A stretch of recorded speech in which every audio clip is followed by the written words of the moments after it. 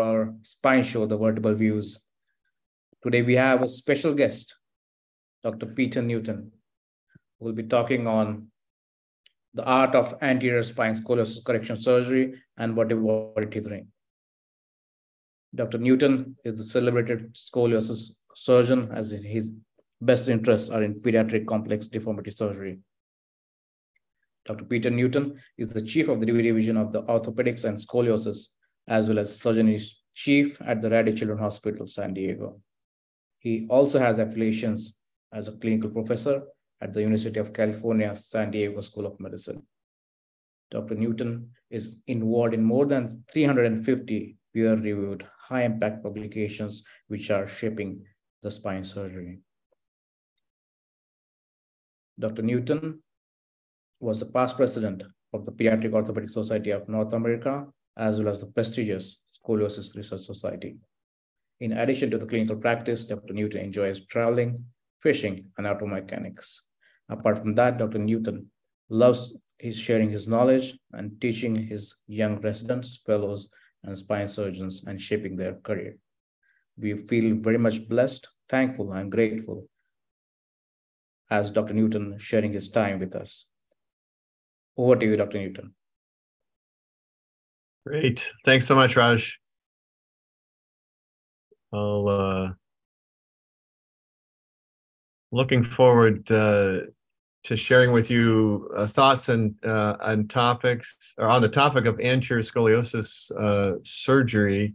I uh, really appreciate the anterior approach. Uh, it's obviously uh, maybe fallen out of favor over the last uh, uh, 10 or 15 years, but uh, I think it's still a powerful tool and one that we should uh, keep in our bag of tricks as we uh, consider particularly the pediatric spinal deformity patient. So I do have some disclosures, and many of them are relevant. I've I've got IP around both posterior instrumentation, which uh, I guess might make me not a very good anterior advocate, but I've also got some IP around uh, tethering. And uh, I did some design work in the past on some anterior systems uh, for fusion as well. Well, I wanted to take you through the, the anterior approach and why uh, I got uh, excited about it. This is sort of a classic thoracoabdominal approach. the chest is to the left, the feet are to the right. And these marking stitches are going in the diaphragm as we've divided the diaphragm so we've got uh, the chest uh, open as well as uh, getting into the retroperitoneum. This is, uh, I think, really uh, a spectacular approach. This uh, is something I use in some of my larger neuromuscular curves as, as well. I'll show you in even idiopathic scoliosis still. but this is the exposure of the spine that is is possible for for a big curve. all those discs just waiting to be taken out. Uh, and in doing so, you can really have a beautiful exposure right back to the PLL. And uh, in visiting Professor Harms, he taught me how to take the PLL out uh, by getting uh, just into the uh, foramen on the on the near side and then working across to, to get the PLL completely excised. And this makes just a spectacular amount of flexibility. You might uh, get a little epidural bleeding on occasion as well, but uh, uh, a little gel foam and uh, and that'll be okay. So uh, in this scenario, I'm now planning on where I'll put screws to do an instrument instrumented correction for this, and using the Bovie just to kind of mark what what my screw trajectories might be. And in, in this scenario, we often try to cheat those screws a little bit posteriorly at the apex to try to get a little more a derotation effect. A pronged washer or staple is, I think, really helpful in keeping that screw from plowing when you do some compression. But uh, here's after the screws have been placed uh, in this particular patient, and we'll go ahead and uh, approximate the rod and do some segmental compression. And again, uh, this was a, a, neuromuscular patient in which uh, we don't really need a whole lot of sagittal plane contour, but uh, we can really make a spectacular correction of a big curve through an anterior approach. So uh, that's the the uh, that that case. I, I, hope just sort of sets the stage for some of the things that we might be able to consider. The anterior approach can, of course, be done open, as you just saw there, very extensile. A mini open approach, or in fact thoracoscopic, and I kind of got my start uh, early in, in spine surgery related to thoracoscopic surgery and did a lot of work with anterior release, thoracoscopic anterior instrumented fusion, and now uh, thoracoscopic uh, tethering. But it's also, as I just demonstrated to you, uh, a beautiful uh, method to perform discectomy, make the spine flexible, and, and we'll talk more about the shortening the anterior column, but I think that's a, a really critical piece to why the anterior approach still has a role. It allows us to shorten the anterior column, uh, and that uh, is a lot of the deformity present in, in scoliosis.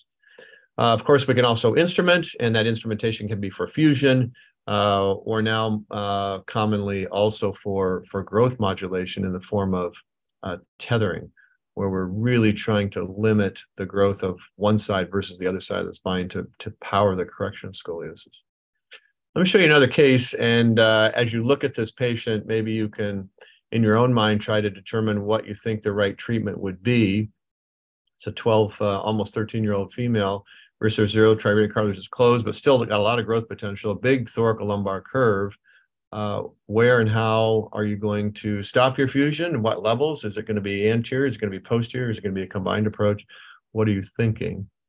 Um, uh, the curve is uh, not particularly flexible. Uh, still a 50 degree curve on side bending. Sanders 7. In my mind, that'd be too old for any sort of growth modulation and, and probably too big of a curve anyway. Um, but again, big trunk shift. Uh, L3-4 disc is wedged open to the right uh, with the apex at T12. And in that scenario, for me, that still means I can potentially stop this at L3, even though that seems like it's so far off midline. Whether or not you'd be happy with that from a posterior approach or not, I'm not sure. But I did this anteriorly, and it's the bigger thoracolumbar curves that I, I still go back to the anterior approach. We use some interbody uh, support to make, make sure we've got lordosis maintained in that uh, mid lumbar spine. And then, uh, but this is uh, the x-ray of that patient afterwards with just six levels instrumented, five discs. And uh, I just can't accomplish that uh, by a posterior approach. And uh, so I think there are scenarios where the anterior is superior to the posterior approach. And I think this is one of them.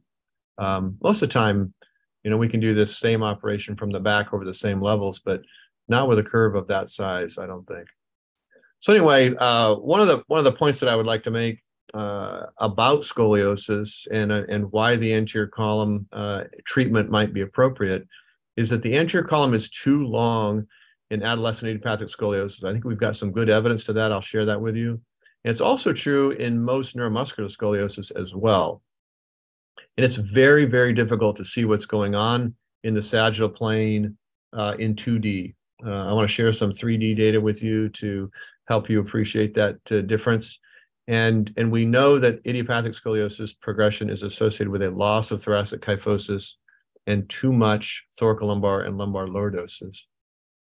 So uh, again, if we take a three-dimensional model, project it just as we would see on the X-ray, you know, we, we can measure the Cobb angle, uh, as you see on those green lines, and we measure kyphosis from T5 to T12, as I show you here. But when you see that 3D, you appreciate how much those end vertebra are not really uh, in the correct plane to make an accurate measurement of what's going on.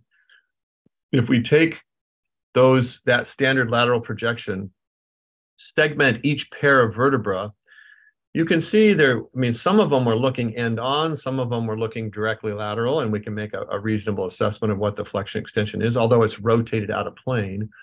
But a lot of these levels, it's just nearly impossible to tell how much flexion or extension exists. And it's really flexion extension that defines kyphosis and lordosis. Uh, and so, how do we look at that a little differently? Well, we've uh, done some work to define the three dimensional deformity that exists between any two vertebra and really look at it in the local reference frame of those vertebra. And this segmental analysis is meant to complement the global analysis. But here we've taken each of those same pairs of vertebra and turned them into a direct lateral projection of each vertebra rather than the position that they were in, in in the scoliosis. Just look at each, each pair directly from the side. And we put some vectors on there to kind of give you the, the normal vectors to the end plates or to the mid body. And you can see that uh, there isn't a kyphotic one uh, in this spine. And that was a big curve. But between T5 and T12, they're all lordotic. So we've got uh, uh, segmental lordosis at every level that if we want to create kyphosis, we're going to have to fix. And depending on how big that lordosis is, it may mean that we need to take the disc out to uh, make that corrected.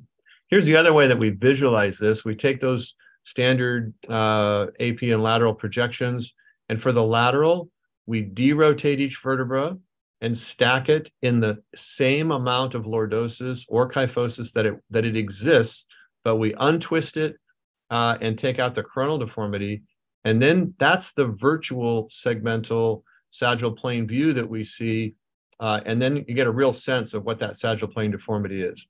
Can you fix that all from the back with posterior column lengthening uh, and shortening and just squishing the disc down? Yeah, a lot of times we can. That's that's all we need. But other times it's too severe, and we've got to take out the disc to make that happen. Here's the paper uh, that we wrote uh, a number of years ago, comparing this stack segmental view again, kind of unmasking the lordosis that's present at these levels that's just not visible when we take a straight uh, lateral uh, radiograph. We've really got to look at it uh, more directly at each segment to, to appreciate this difference. Uh, and that really opened my eyes to the amount of lordosis that exists uh, in idiopathic scoliosis. Here's a little bit more data uh, showing that this is the Cobb angle on the uh, x-axis and the 3D kyphosis, this, this kind of uh, measurement of kyphosis from 5 to 12 when it's been untwisted. And you can see when there's no deformity, the normal kyphosis range is, you know, 20 to 45 degrees. That's pretty typical. As the scoliosis progresses, you can see that there's less and less kyphosis present, such that when we get around 60 degrees, 65 degrees, in fact, we're flipping into thoracic lordosis. And again, we we should be running, you know, in that uh, 30 degree range for thoracic kyphosis, and uh, and that should be our target range. Again, it should be probably patient specific and based on lots of things, but we've we've looked at this profile in thoracic versus lumbar curves, and uh, and we find that in fact there is a loss of thoracic kyphosis in both of these curves, uh, probably 15 to 25 degrees loss of kyphosis. And uh, in the Lenke 5 curves, we find them to be more lordotic than the controls in the periapical region. That means we've got more length there than we need. And so we can afford to do some shortening, whether that's with a tether or whether that's with discectomy. Uh, but one way or another, we've got to add posterior length and take away anterior length uh, to correct the deformity in all three planes. Again, here you can see that it appears to be kyphotic at the thoracolumbar junction. We often see that, but in fact, if you really look at it in 3D, it's not. But uh, again, you've got to have some appreciation for that. And again, if you do it anteriorly, we can certainly reconstruct uh, the anterior column where we need to and shorten it where we uh, also need to. Let's look at a big curve like this. Um, if, if we don't have uh, a three-dimensional reconstruction, uh, the patient looks like there's substantial thoracic kyphosis, uh, and globally the patient is reasonably balanced.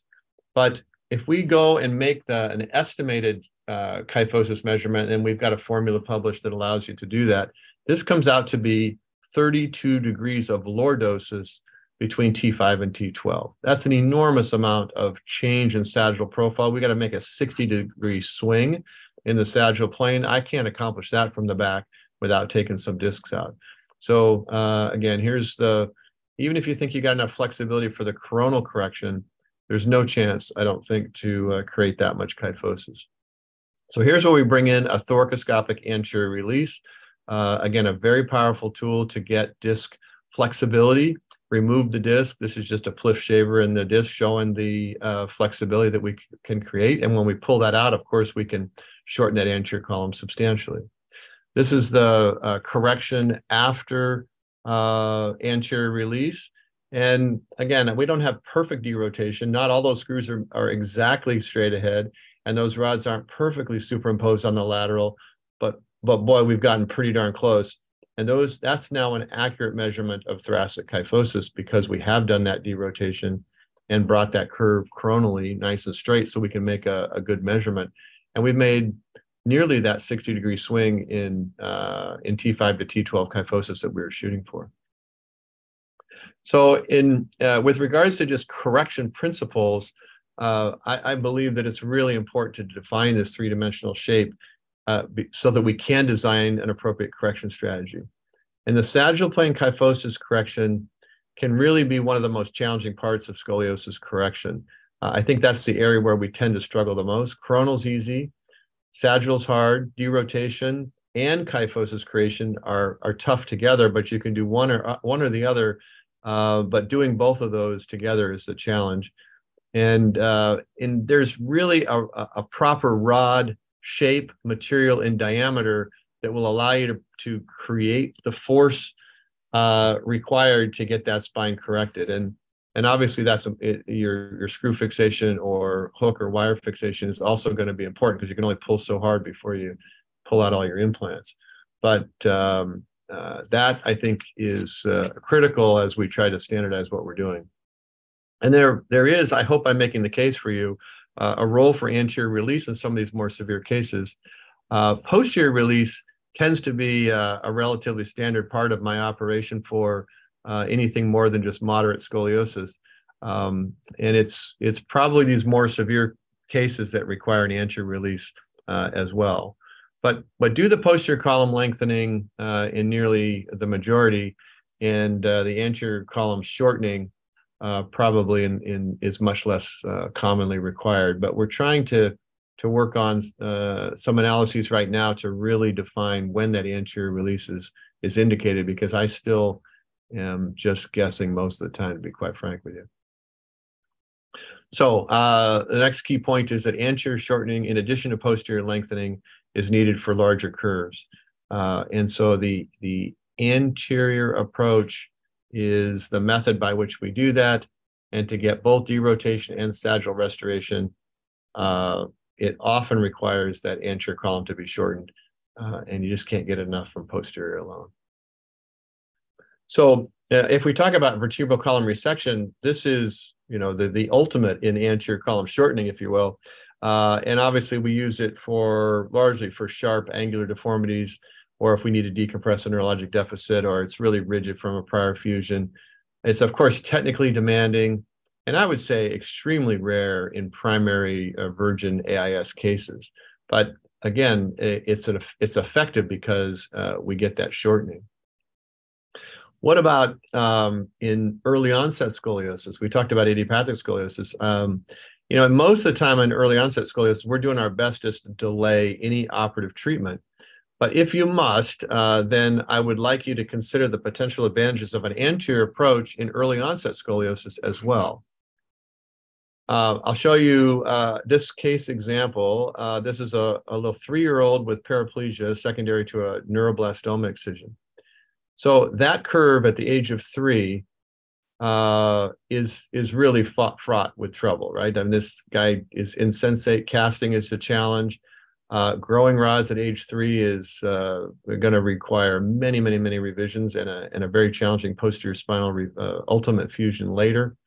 This this boy had one operation uh, in 2001 at the age of three, and 15 years later, that's the only operation he needed because we took care of his curve primarily anteriorly. We got a good solid fusion and allowed his chest to grow. I mean, we we still fused whatever that is, six levels, seven vertebrae, six discs, um, but we got the height out of his chest that we required.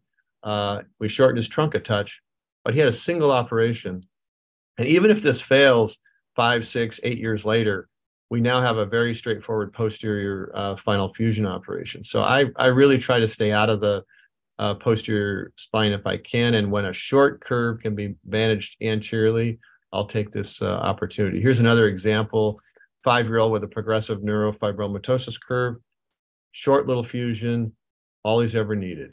Uh, so again, don't uh, don't get suckered into to doing a growing rod or something else that's going to make a much longer area of disease from our from our quote growth friendly procedure if we can limit the the treatment area anteriorly to a very short segment consider that here's that uh, little construct even even uh, when it's not definitive this is a, a girl another neurofibromatosis patient uh, done thoracically Um, you know, again, uh, this looks pretty good. It started to fall apart after a couple years, and a couple years later, it really looks bad.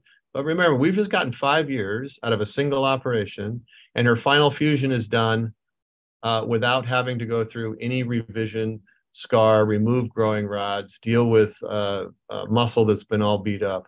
And so, uh, again, not much to work with in the way of pedicles because of neurofibromatosis. Another reason why the anterior approach can be an advantage. Uh, but uh, again, don't uh, don't throw this away. This is really uh, spectacular. So uh, anterior in, EOS, if you've got a short curve, it can be stage one, uh, and if, if, you're really lucky, it can be definitive. And that apical correction with poor pedicles, bad posterior skin, and means a lower infection risk as well. So think about that in the myelo population as well. Anterior release in the young and in the severe and for a few of these early onset kids, uh, maybe the juvenile version, we can even consider tethering. So I'm going to switch gears into tethering because I know that's a, a hot topic these days uh, to talk about. Uh, the hope here is that we've created a method of scoliosis correction in which we maintain motion.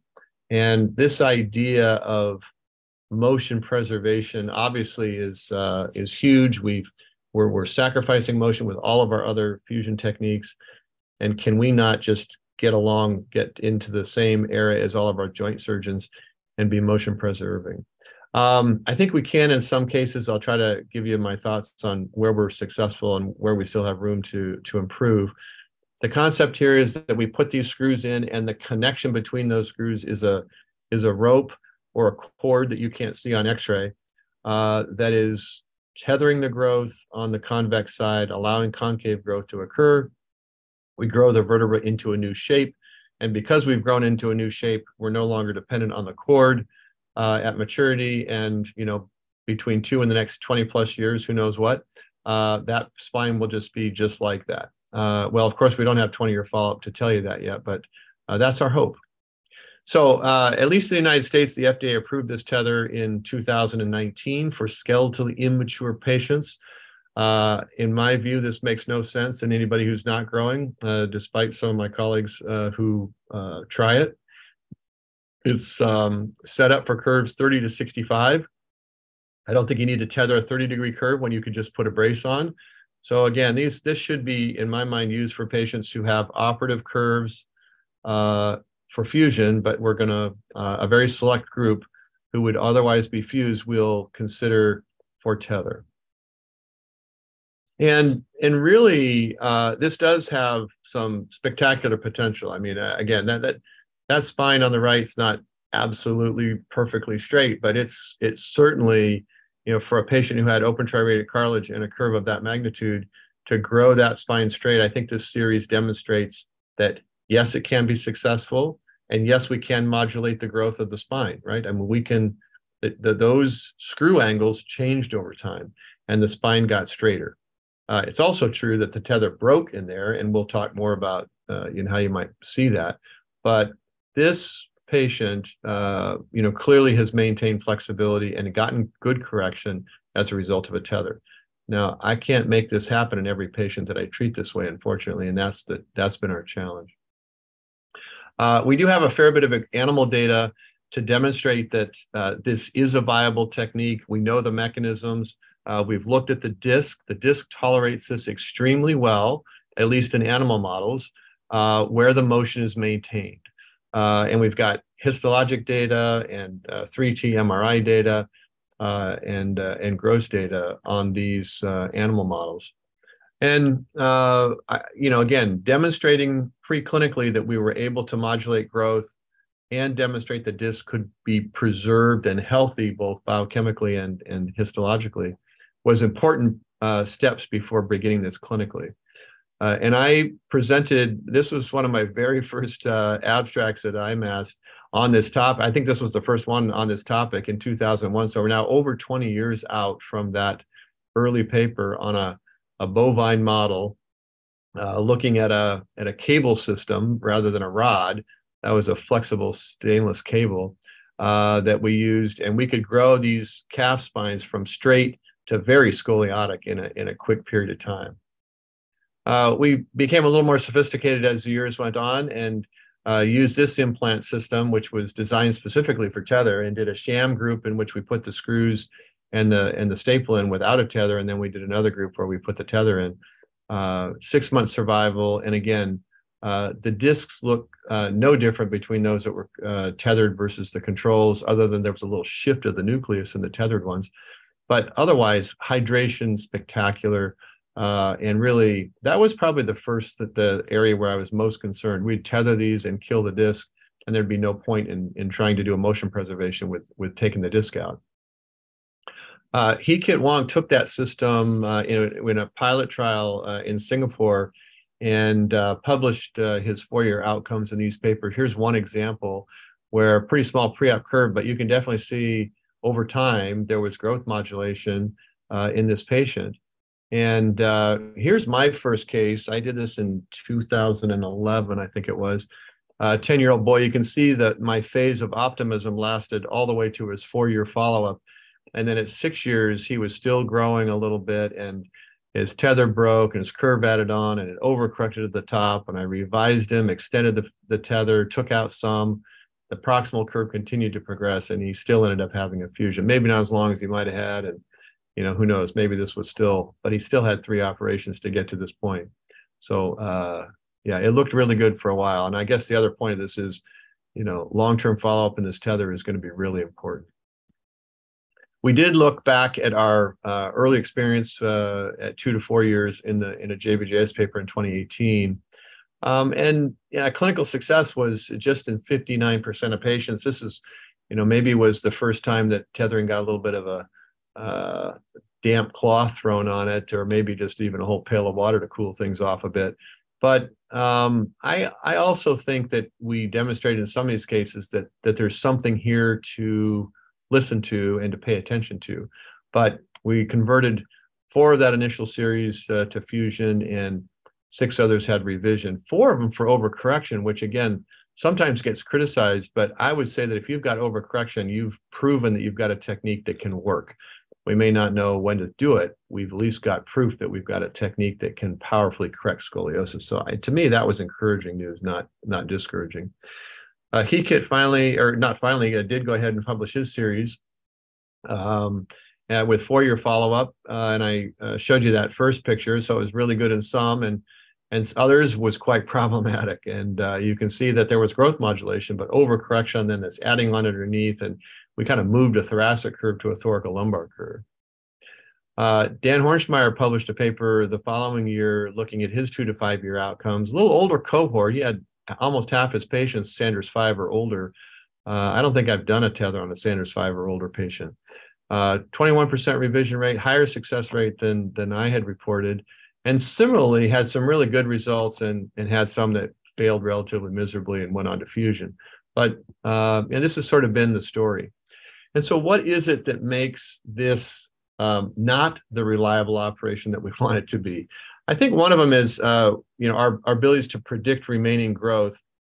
This is uh, Jim Sanders' work looking at uh, at how much growth is is related, percent of, of final height uh, relative to peak growth uh, acceleration phase. And you can see that the Sanders scores are superimposed there. There's enormous variation uh, between the Sanders two. I mean, it's it's a two-year difference between the oldest and the youngest Sanders twos and there's probably the same, uh, at least a year uh, difference uh, in the three A's. And the three B's, maybe it's just a year. The fours are extremely narrow, but a short phase. And, and once you get to that point, four, five, and six, you, you don't have a lot of growth left to modulate. So my my personal preference now is to work with the twos and the three A's as my kind of primary folks. But of course, there are some three B's that that are right up there next to to twos. So there's such variation in this, we're, we're not able to accurately predict based on Sanders score growth remaining. I think that's one of our biggest challenges right now with this technique. Roughly speaking, Sanders 2 patients have at least two or three years to grow. The threes, I'm, I'm now dividing into 3A and 3B. I think that turns out to be pretty critical. And the fours and the fives, I don't know if you can get enough in a year to to make meaningful difference if you've got a curve big enough to operate on. I think that's that's one of our challenges. uh, we've I think we've got pretty good data that shows that that the change in the angle of the screws per segment per month correlates with the remaining growth. So uh, you get a bigger change when your uh, height velocity is high, and as your growth slows down, the the amount of change that occurs slows down as well. So that's just showing that it's growth related. Again, if we look at the change in the in the angle between the screws of a tether construct, this is uh, Harms study group non-fusion uh, study group data. The Sanders scores are as you see down there, the, the sevens on the top of the graph, the ones on the bottom. And this angular change between screws over a two-year period of time is what you're seeing plotted. Uh, first direct six months, 12 months, 18 months, and 24 months. So you can see the Sanders one, they're going on average five and a half degrees per level in the first two years. So you you tether uh, six levels, you got 30 plus degrees of correction. So if you if you corrected the patient to 10 or 15 degrees, you're going to overcorrect immensely. So leaving how much deformity you leave on the table at the time should be based on the Sanders score. And you again, you can see beautiful potential in the Sanders 2 and the 3As. The 3Bs, 4s, and 5s actually lumped all together in this analysis. I, I think we probably just don't have enough discrimination yet to figure that out. But that's interesting finding that there wasn't a lot of difference between those. And I think that's partly why I've sort of landed on the the twos and the threes is kind of the sweet spot. A three to four degree per level correction over the next two years. Um, you know, again, with a six or seven level construct gives you a pretty reasonable amount of correction potential. But two, one, two degrees per level, uh, I don't know if that's worth the squeeze. So uh, again, uh, roughly five plus degrees uh, per level in Sanders one, four, two and a half, uh, and you can see the the variation as we go down. And and certainly in the Sanders six and sevens, we don't see much of anything happening. But again, it's highly variable even within each Sanders grade. And so uh, not every two goes at four degrees and not every three A goes at two and a half degrees. That's what's that's what's giving it, making this hard for us right now. But when we look at the three-dimensional data of the, the vertebra itself, we can clearly see three-dimensional change in the shape of the vertebra and the disc. We've done this uh, analysis uh, over time on, on multiple levels. Uh, here's uh, just a short little pilot study that we did initially looking at seven patients who did show progressive correction. And this is looking at the left side of the vertebral body and disc and compared to the right side. And the right side is where the tether went. And you can see that the right side doesn't get any longer. That's because we've tethered it.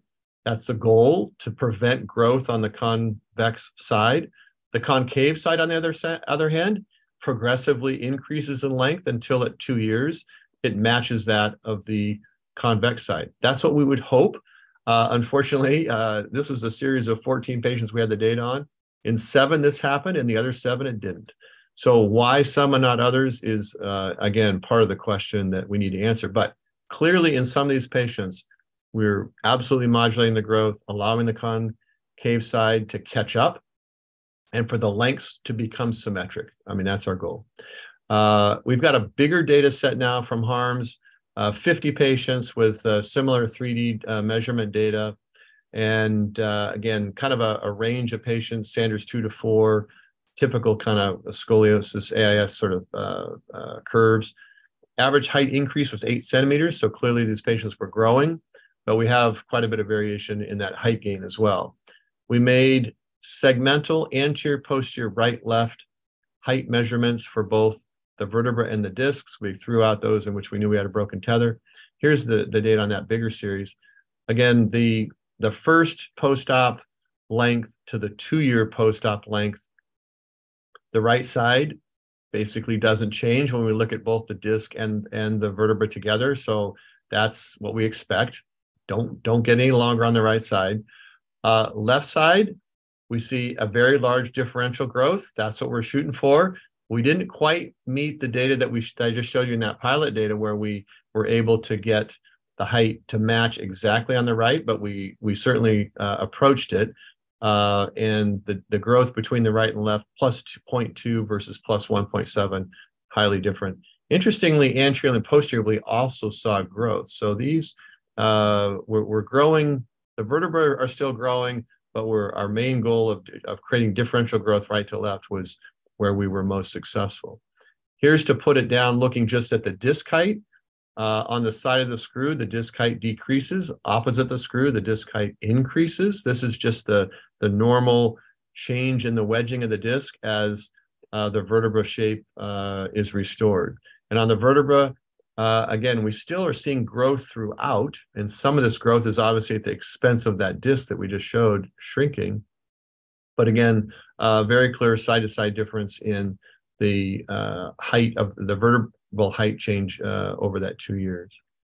So uh, this is, I mean, that's uh, this image I'm showing you is is actual image of three-year change in the shape of the vertebra for a kid that was tethered. So we can see it. Uh, we don't always see it. And uh, the concave vertebra can grow. The concave disc uh, tends to narrow. Convex disc tends to narrow. Uh, again, uh, not too surprising. If we do this too young, the patient will overcorrect. That's uh, one of the, the the knocks on the technique. I again am not completely disappointed when I see this. I know that the tether is working, and and if we need to take it out because we've got 100% correction, that is great. I let this one go a little too long before we pulled it, and uh, that leftward curve was curve was maintained. But overall, her trunk shape's actually not too bad. We have now uh, uh, last year published on the harms experience of tether versus posterior spinal fusion. Uh, just to highlight uh, a couple of the uh, outcomes, are not surprising at all. the the post-op curve is smaller with a posterior spinal fusion. The, uh, the percent correction is greater with a posterior spinal fusion. The percentage of people who get to a curve under 35 degrees is you know nearly everybody in the posterior spinal fusion and just two thirds in the tether group. Um, and then the revision surgery rates are, of course, are uh, at this point, even at two years, uh, average 2.2 year follow up, you know, five times higher uh, in the tether group, and that's still uh, not going to be the final. Uh, it's not the final for either, to be honest with you. That we know the ten-year revision rate for posterior spinal fusion is probably five, six, seven percent, but uh, the ten-year revision rate uh, for tether is going to be hmm, certainly above twenty, uh, at least right now. Part of the reason is we don't understand the growth I just mentioned. The other reason is that the cord fails prematurely in many cases, and uh, if the if the cord makes it to three years, uh, we probably have completed most of the growth, and it doesn't make much difference if the cord breaks. But if it breaks before two years, when growth is still going, then we have a tendency for the curve to progress, and and this doesn't uh, it doesn't work. Um, most of the papers have suggested that we're we're breaking at least 50% of the time by around three years, uh, and, and lumbar curves are probably higher. We've looked at just the the outcome of uh, posterior spinal, uh, so no posterior spinal fusion and a curve less than 50 degrees. I mean, that's a pretty liberal definition of success. Um, and when we do that, you can see that at two years uh, in this kind of Kaplan-Meier curve, we're really looking good. We're still in the 90s.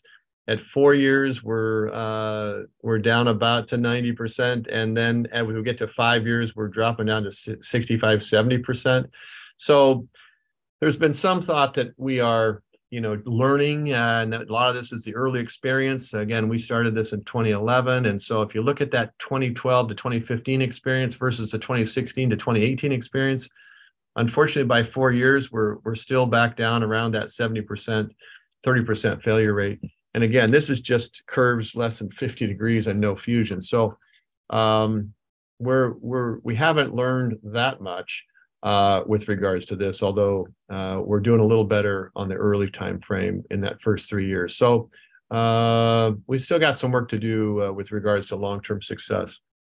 But again, I'll leave you with this X-ray just to to show you the evolution over time of these curves. Uh, and boy, when we can get one that looks like that, it makes you want to keep coming back and try again. The other thing that role that I think Tether may have a, a spot is in these hybrid constructs where we've got uh, a double major curve where we just think a selective thoracic fusion is not going to be sufficient. Uh, 55 degree curve in this patient just seemed a little too much. And uh, doing a selective thoracic fusion, I got to tell you, I'm doing these longer and longer. Uh, and in this case, I went uh, all the way down to two, one. What is that? Two, five, four, three, two, one, one, but well below, uh, nearly at the apex and well below stable. But again, if we do a beautiful job with that selective thoracic fusion, that tether only has to just sort of do a little bit of uh, holding and growth modulating for uh, a short period of time. Uh, and this may be where we have a, a role for tethering as well, uh, preserving lumbar motion uh, in double major curve. I'm, I'm optimistic about this. Uh, the data is early. We'll see where that goes. There are a lot of people kind of looking into this possibility as well. So anterior surgery for a lot of us is an acquisition of new skill. I got lucky enough to to be kind of raised on anterior surgery, and so uh, it's been been natural for me. But uh, I had to teach myself the endoscopic approach, and uh, the key there is just make sure you've got uh, good camera skills. You got to pick the ports in the right place and and get good hemostasis so you can see things. But but thoracoscopic spine surgery is also a, a really valuable skill set to to have. Uh, it you might have to come to a few courses and train in some animals, but uh, it's also a good uh, a good skill to have. I think I'm going to stop right there, Raj. Uh, it's uh, we're about 40 minutes in, and leave some time for questions. Uh, and uh, I can go back to this if we want to look at some more technical stuff about how to do tethering. But let's let's wrap up there and see what kind of questions you have. Sure. So um, going back to the one of the landmark articles you have, Dr. Newton, which we discussed earlier, also the retrospective uh, study between uh, posterior fusion and the anterior vertebral body tethering. Uh, the, as a young surgeon, when we interpret the article, the results of the anterior vertebral body, not going much into the statistics, it says uh, the results are less less consistent, less predictable, with higher revision rates and more complications. So, how you convince the families as well as the young surgeons to take uh, the anterior vertebral body tethering over the PSF? Yeah, you know, uh, uh, it's a great point, and that's and that really is uh, the message of the paper. Um, I guess I would say that um, I, I, tell people that um, in the tether group, uh, a certain percentage are going to go on to fusion, um, but in the fusion group, they all go on to fusion. So uh, it depends on your perspective and whether or not you think motion and and not doing a fusion is really really important. Um, and some families value that motion uh, a lot. And, and to be honest with you, they probably value it, they probably overvalue it because they don't understand what motion uh, they're actually losing uh, because it isn't very much. And so trying to bring some sort of clear understanding to people what that mobility loss is is very difficult because people hear fusion and they just want to not do it, especially when they can go to the internet and um, and and be contaminated by uh, all sorts of nonsense that's presented there about the benefits and the, the and the tragedy of having a fusion. Um, again, I think thoracic fusion is a highly reliable operation. We've known that before. This this you know paper didn't make it make that uh, any different. And our uh, work on tether is, I think, becoming more reliable as we gain experience, but uh, you also can't be you can't be taken in by by two year outcomes and even at this point those are just two year outcomes and it's still not even close to a posterior spinal fusion but uh, i think when i have the conversation with families i i really emphasize uh, uh the reliability of a posterior spinal fusion the uh, loss of motion will be modest uh, the reliability of a uh, tether is not where we would like it, and there's a there's a pretty high chance that you'll need a second surgery. But you know, eh, if you want to try to avoid a fusion, in some patients it's reasonable. You've got to be growing. You got to be uh, growing quite a bit, in my view. You got to have a pretty flexible, moderate size curve. Um, I think the thoracics are the uh, places where we have the least to lose, uh, and it it's not a bad place to start, to be honest. But I think a lot of people want primarily to preserve lumbar motion. Of course, I do as well. But I think that the tether is even harder to predict in the lumbar spine because it the growth is faster and harder to, to predict. We don't have as much data on lumbar.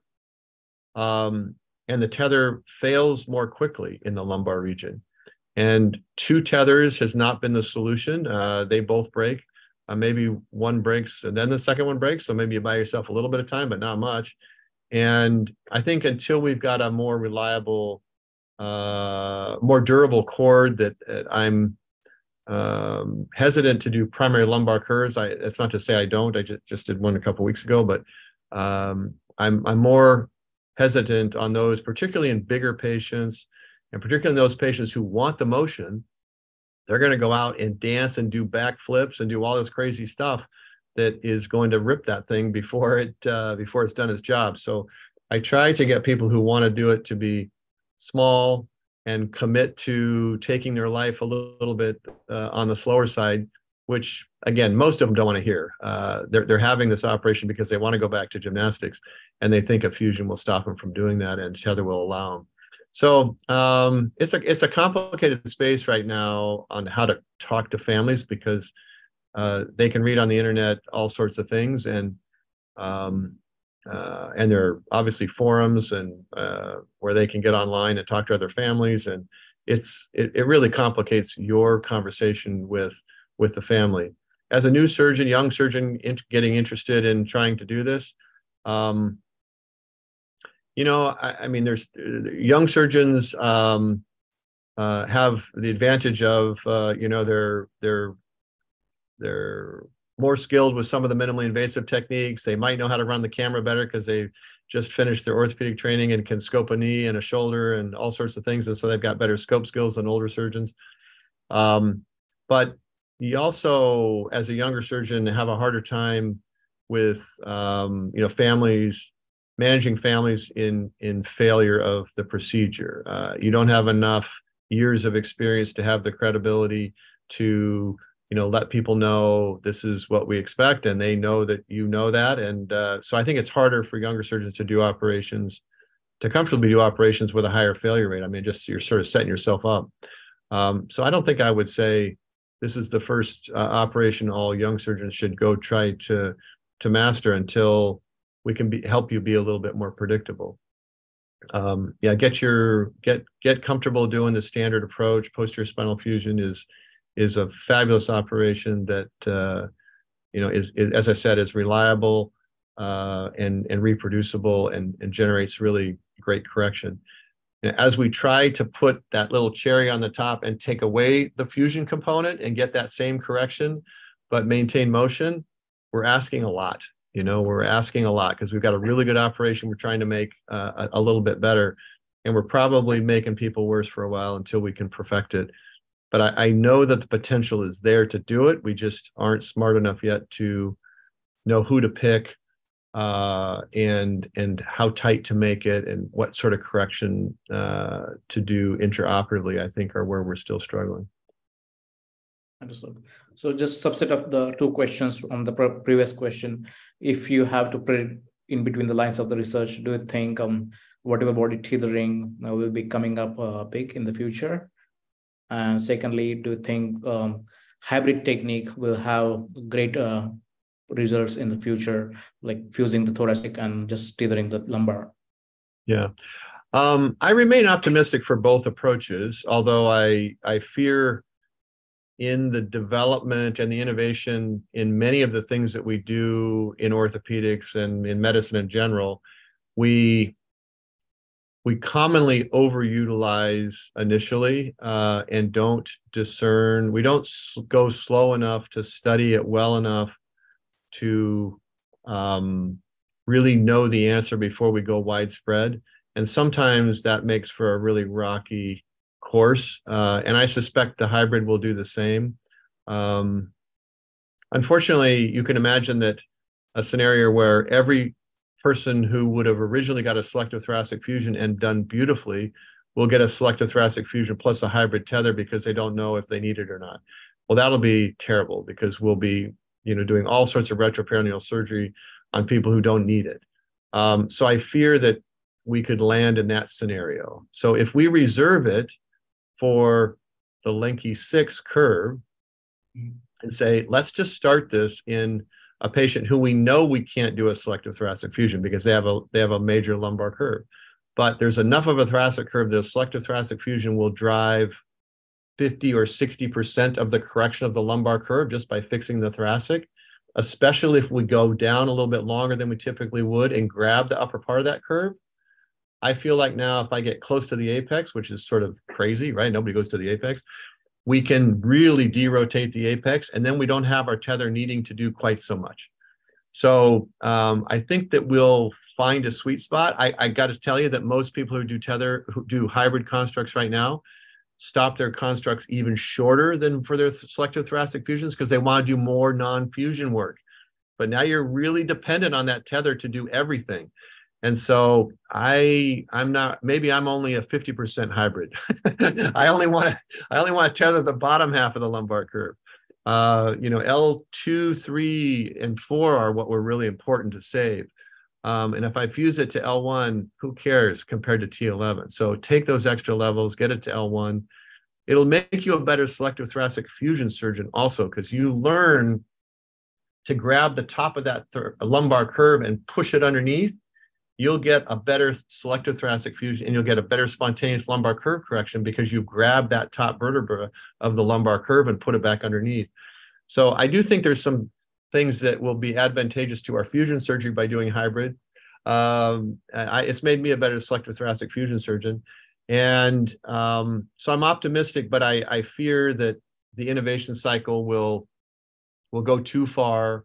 We'll do too many of them, and then we'll have to bring it back and hopefully find out what works and doesn't work. I think we're doing that in tether right now, to be honest with you, on on both lumbar and thoracic some people have even swung already through that curve and said, I'm not doing thoracic anymore because it does, it's just not reliable enough. And posterior spinal fusion is so good.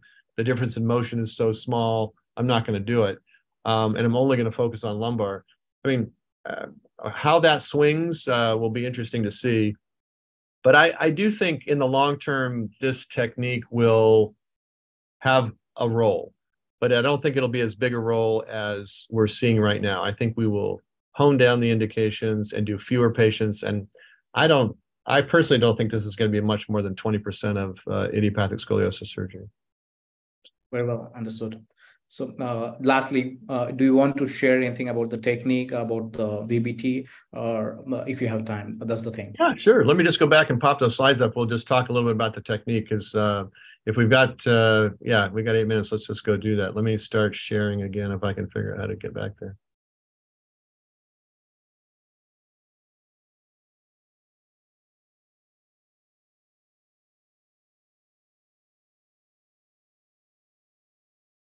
Good. Well, uh, again, the open surgical approach, we already showed a big case, uh, beautiful exposure. You got to know how to do this before you can do it endoscopically. But the thoracoscopic approach is really uh, elegant when it's done well. Single lung ventilation, three, four, five incisions, uh, open the pleura, divide the segmental vessels, get a beautiful exposure of the spine. Um, here's the view of the scope when you come in, a fan retractor go down onto the lung that's been deflated. You can count down from uh, where you are. You can use some K-wires to figure out your angle. Uh, make sure you've got your levels correct. Open the pleura with a harmonic scalpel. This is an ultrasonic uh, uh, device. It coagulates the, the vessels beautifully, so you can take those segmentals, use that blade to just dissect around the front. This is my typical portal setup for uh, somebody who's having instrumentation, one anterior portal uh, and three posterior uh, along the posterior axillary line. Uh, again, I put the surgeon, the assistant on the anterior side because the scope is coming anteriorly and looking from front to back. I want that video monitor in the same perspective as my eyes go to that monitor as that camera goes to the spine. So everybody looks in the same direction. This camera looks in the same direction as the eyes of the surgeon and the assistant to the video monitor putting someone on the opposite side and a monitor on the other side is all backwards and gets them upside down. They don't know what's going on. They can't help you. So put both people on the front side. Get the lung down well, either double lumen. Uh, that's my preferred if the patient's big enough, and a bronchial blocker if they're too small for a double lumen. Uh, here's that tube. Positioning is critical. Axillary roll. Uh, you want the, the spine to hang down if, if you're going to do instrumentation. So you kind of make a little valley for that spine to straighten. Uh, I plan the ports uh, and the trajectory of every screw, uh, marking it on the fluoroscopy so I know where I'm going to go. That allows me to plan the portals.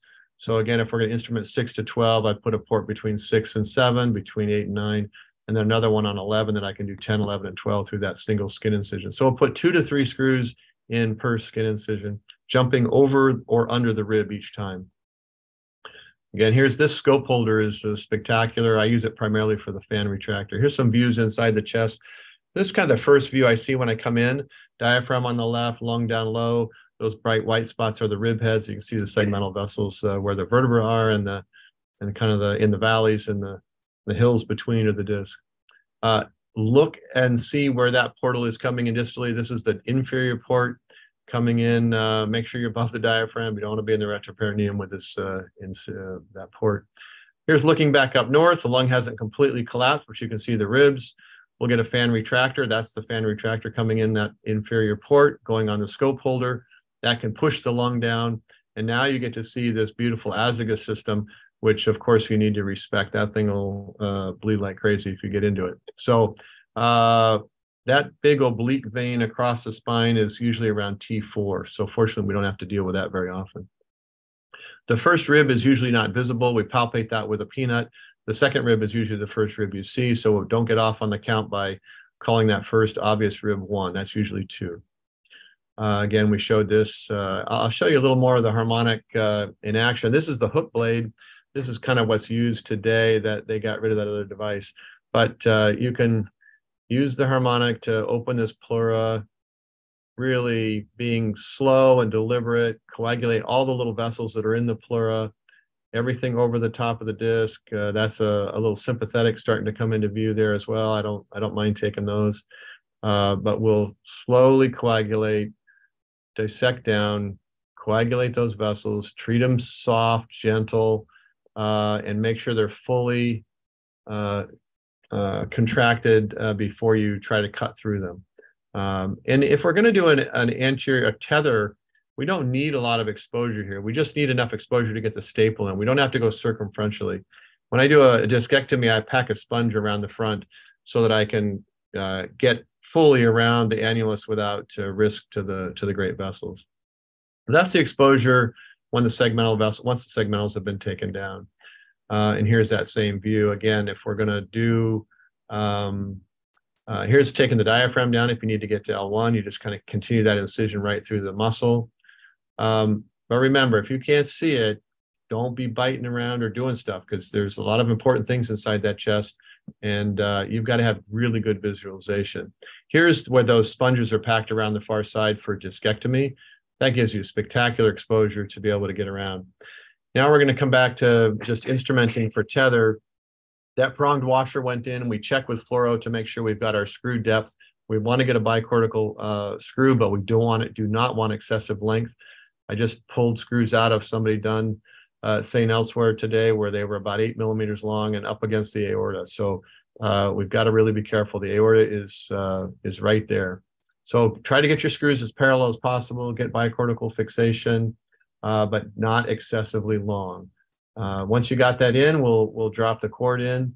This is a polyethylene uh, cord. Uh, we get it engaged into that top screw, uh, lock the set screw, and we'll perform sequential compression. And this is one of the big questions is how much compression or tension do you put in the cord? Uh, it's another area where we don't have great answers. I hate to tell you. I mean, the, the the the, gist of it is not so much at the ends and a lot in the middle, but that's not a very precise prescription for for this. And so, in general, we're trying to get the discs uh, nearly parallel, maybe even a little over compressed. You can see this compressor kind of uh, is squeezing down that. I push down with the device, tension. We're at the apex. We're trying to get as much as much correction as we can uh, at the apex. So um, again, it's the same anatomy that you're always used to looking at, but uh, getting the lung down is absolutely critical. You got to have good, perfect uh, positioning of both the patient and your portals. Uh, so make sure that you uh, can get that done. But uh, and uh, if you have to go back, oh boy, it can be a little bit ugly. There's a lot of adhesions and, and and trouble. I'm gonna. Here's just kind of what you can be looking at if you try to go back again for another one. Pleural adhesions everywhere. These are really uh, can be nasty on the revision. So uh, I don't think we want to go into too much detail there, and I think I'll. I think we're getting close to time, so I'll take it off there that's really wonderful presentation, uh, Dr. Newton. We really thank you from Ortho TV and uh, all the viewers uh, for your sharing knowledge and teaching us. Thank you very much, Dr. Newton. No, it's my pleasure. And uh, uh, again, if you'd like to reach out, please do. And if you want to take a make a visit to San Diego, we're always uh, happy to see folks, and we'd welcome you at Rady Children's Hospital to spend some time with Mike Kelly and uh, Salil Upasani uh, and the rest of our, our team at Rady Children's. Thank you. Thank you very much, Dr. Newton. Take care. Cheers. Have a good day, folks.